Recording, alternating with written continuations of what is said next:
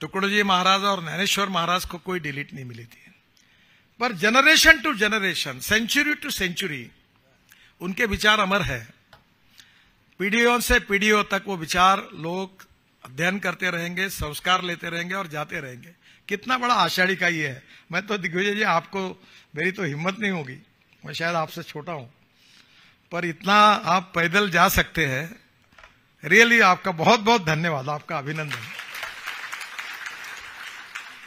मैं कोशिश कर रहा हूँ। कोशिश करें अपने आप चल ये भी मुझे बताया लोगों ने कि एक बार निकल जाओ आप, हो जाएगा।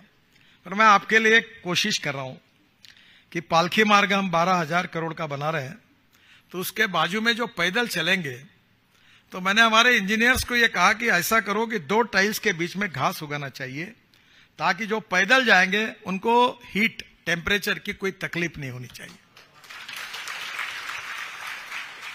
तो हमारी संत परंपरा, साहित्य, संस्कृति, ये महाराष्ट्र की विशेषता है।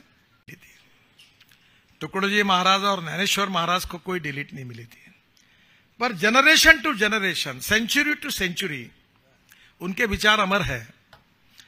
पीढ़ियों से पीढ़ियों तक वो विचार लोग अध्ययन करते रहेंगे, संस्कार लेते रहेंगे और जाते रहेंगे। कितना बड़ा आषाढ़ी का ये है। मैं तो दिग्विजय जी, आपको, मेरी तो हिम्मत नहीं होगी। मैं शायद आपसे छोटा हूँ। पर इतना आप पैदल जा सकते हैं। रियली आपका बहुत बहुत धन्यवाद, आपका अभिनंदन।